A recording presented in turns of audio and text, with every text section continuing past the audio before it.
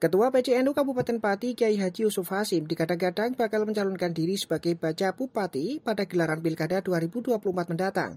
Kendati demikian, pihaknya menegaskan saat ini fokus mengabdi kepada umat.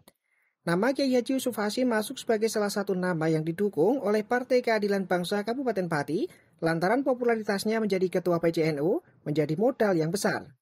Kiai Haji Yusuf Hasim menegaskan tidak ada niatan mendaftar karena bukan orang politik. Pihaknya pun telah menyiapkan kader-kader Nahdlatul Ulama untuk melaju ke Pilkada November mendatang. Para kader ini juga telah menjalin silaturahmi kepada para ulama.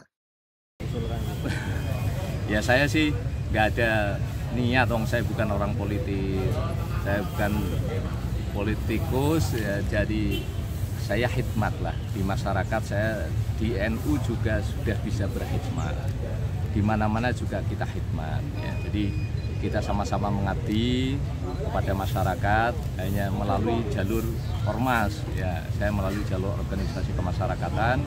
Jadi eh, belum ada niat ataupun minat ke ranah politik ke situ. Tapi kalau Pihaknya berpesan agar para pemimpin nantinya tetap mengedepankan kemaslahatan umat untuk memajukan Kabupaten Pati, serta tidak materialisme dan mani politik. Tim Liputan, Cahaya TV.